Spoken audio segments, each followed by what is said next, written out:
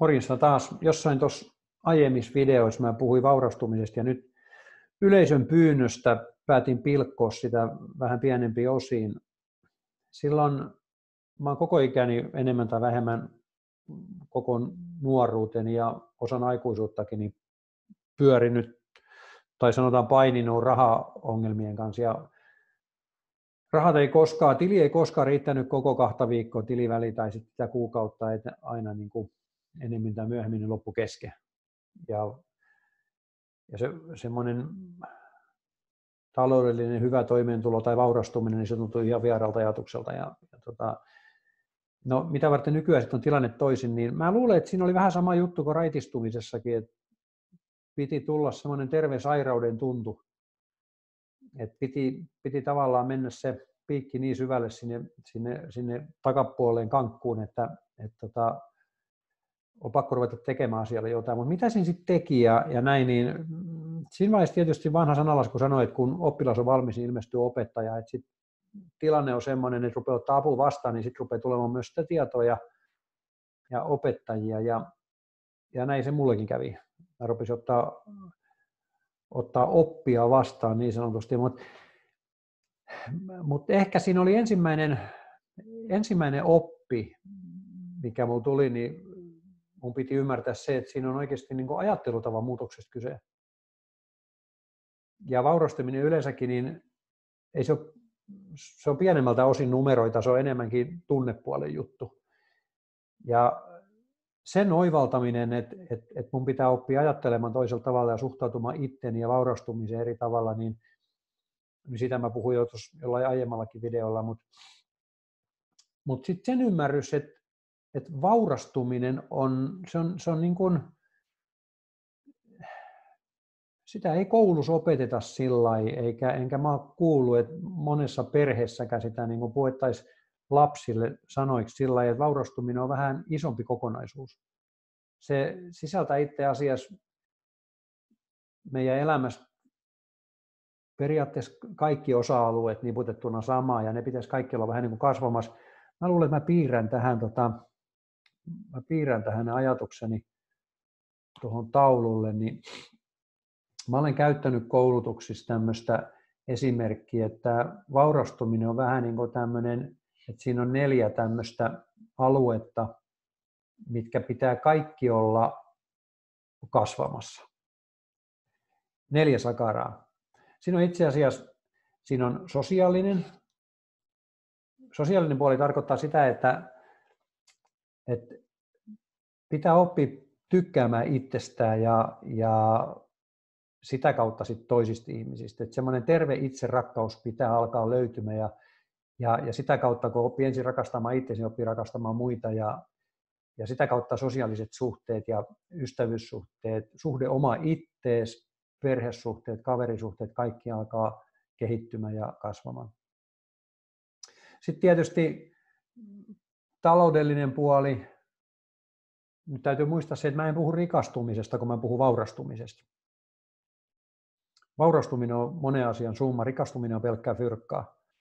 Paljon sellaisia ihmisiä, ketkä on rikastunut, menestyneet huippurheilijoita tai, tai rockistaroja, rikastuja hetken päästä on PA. Tai sitten ihan meikäläiset tavikset, kun saa äkkiä rahaa, eikä ole pääkoppasin kunnossa, ei ole kykyjä eikä taitoja eikä tunneelämä siinä kunnossa, että vauraus olisi hyvä asia ja sitä haluaisi niin kartuttaa, niin hetken päästä on vielä suuremmissa vaikeuksissa, mitä oli silloin, kun, ennen kuin sai sitä rahaa.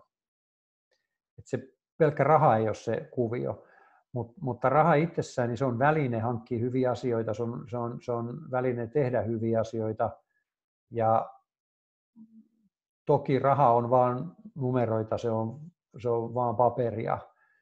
Mutta se, mitä sillä voi hankkia, niin, niin se on se, se niin kuin raha on vaihdon väline, ja mihin sitä vaihdetaan, niin me saadaan se itse päättää. Ja millä, millä me pistetään se raha toimimaan itsemme eteen ja raha tekemään rahaa, niin se on sitten taas se oma taitonsa.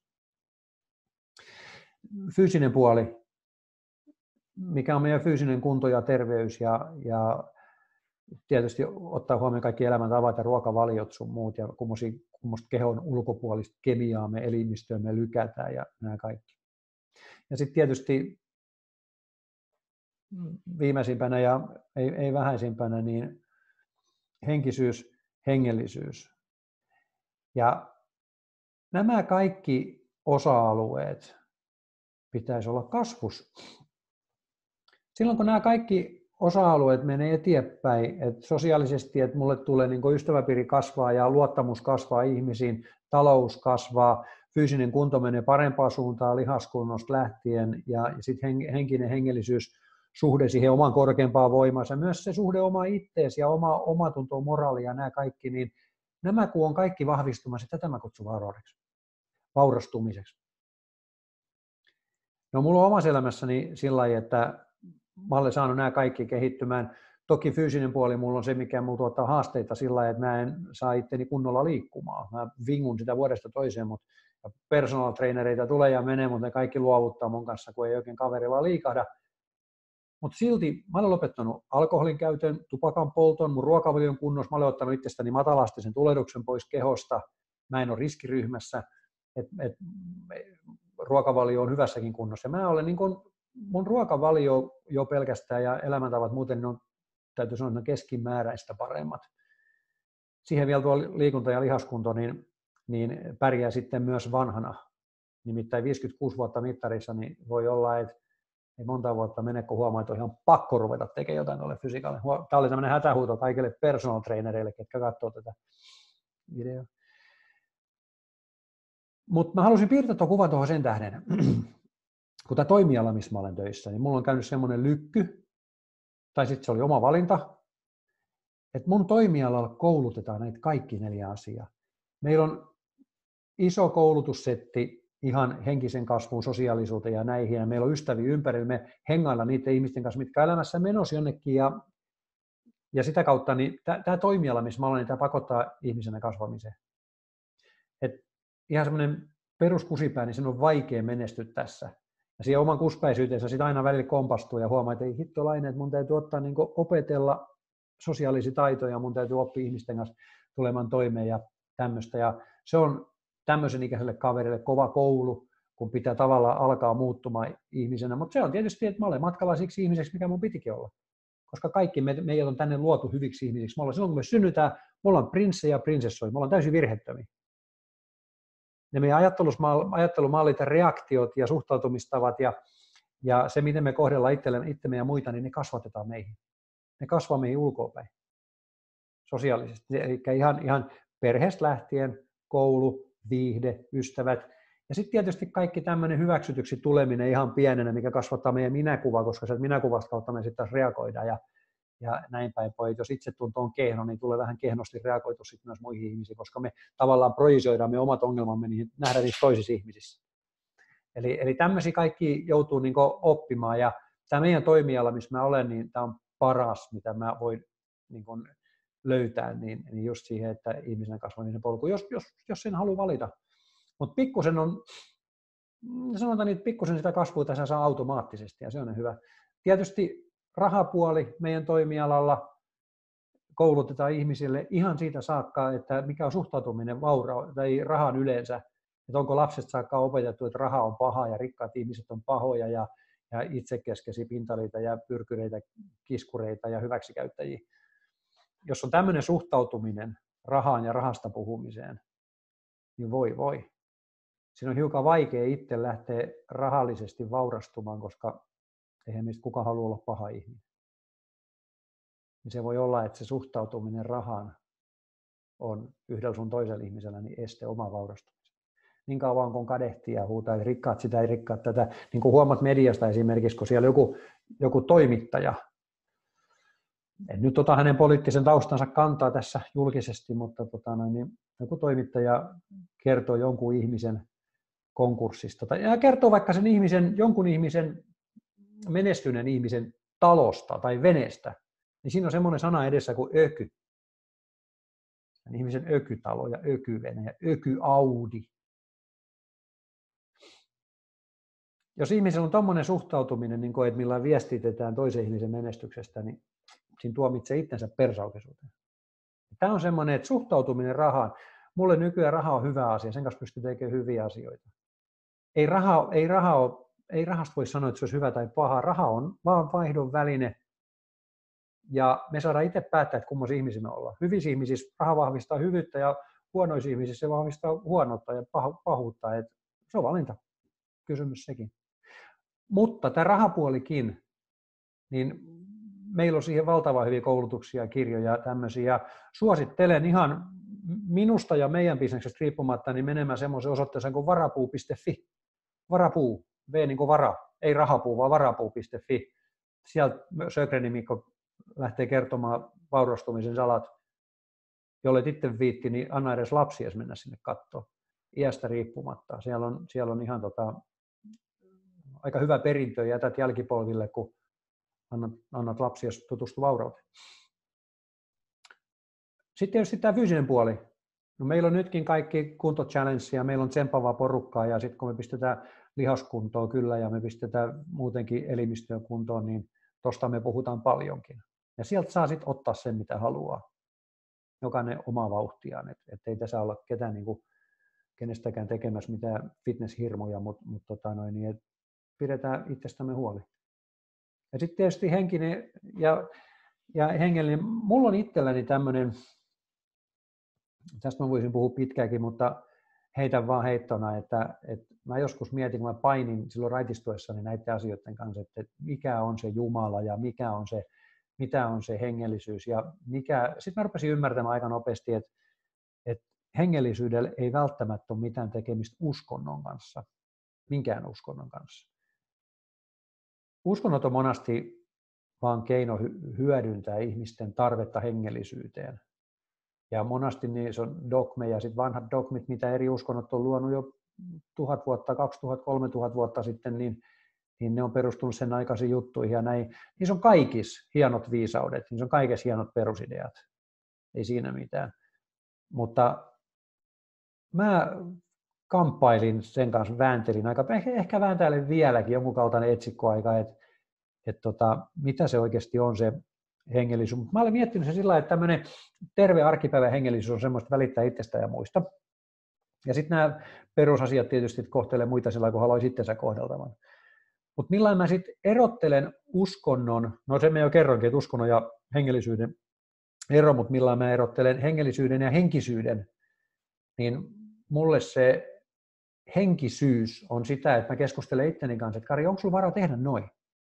saatko sä sanoa tuollain toiselle ihmiselle? Pystyykö sä viilaamaan tässä kohtaa? Kestääkö sun moraalisen?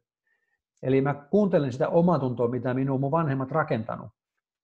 Ja, ja mikä minun on kristillisellä kasvatuksella tietysti säädetty sit siihen malliin kuin se on.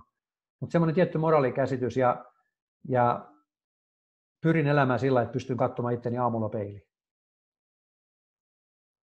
se on iso muutos siihen, mitä elämä oli silloin, kun mä dokasin vielä, ja jopa vielä sen jälkeenkin, kun yritin sitten kärvistellä raittiuteen.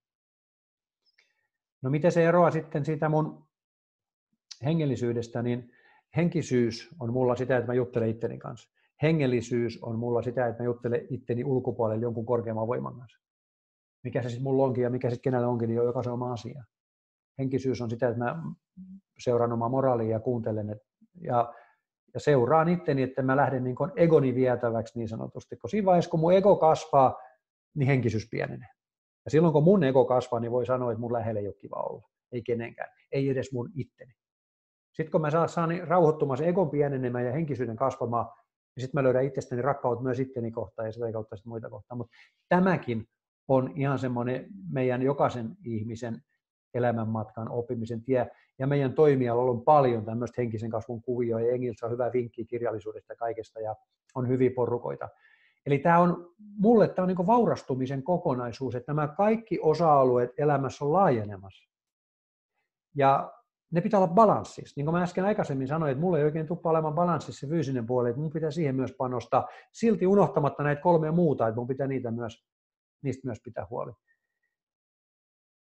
Ja mulla on ystäviä ympärillä, mitkä, mitkä tietysti muistuttaa mua niin paljon lujaa rakkautta, ne, ne saattaa sanoa mulle, että Kari, hei, et ihan oikeasti, mikä sun on? Miksi sä teet noin? Sun kannattaisi ehkä tehdä näin. Ja jos mä olen valmis menemään elämässäni eteenpäin, niin mä olen valmis kuuntelemaan. Se on mun vastuulla niin se kuunteleminen. Silloin kun oppilas on valmis, ilmestyy opettaja. Jos sua kiinnostaa tämmöiset kuviot, niin multa saa tietysti paljon lisätietoja ja vinkki. Jos yksikin noista elämän osa-alueista on semmoinen, missä sä haluaisit korjausta, niin ota yhteyttä ja katsotaan, mä voin antaa vaikka jonkun kirjan luettavaksi tai sitten vinkata sut jollekin ihmiselle tai ihan kuinka vaan. Mutta näistä kannattaa keskustella, koska yksinä netin pähkäileminen on aika outoa.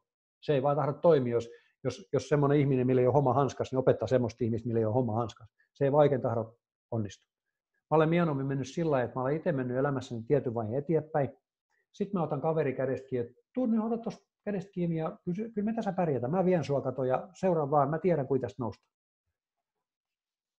Vähän samalla periaatteella, kun sä löydät netistä semmoisen lorun kuin juoppo kuopassa, googleta se, niin, niin tota, millä, millä toinen juoppa auttaa toisen kuopasta. Mutta se on vähän sama juttu tässä elämässä, että kannattaa ottaa apu vastaan ja vinkkejä ja, ja niin kuin mitä mä tunnen nykyään bisneksessä menestyneet ihmisiä aika paljonkin, niillä on kaikilla mentorit. Vaikka ne on menestyneet, ne yllättyisit. Mä voisin pistää tuohon julkisuudessakin menestyneiden ihmisten nimiä ruudulle ja, ja kertoa, kuka on niiden mentori. Eli niillä on kaikilla mentori.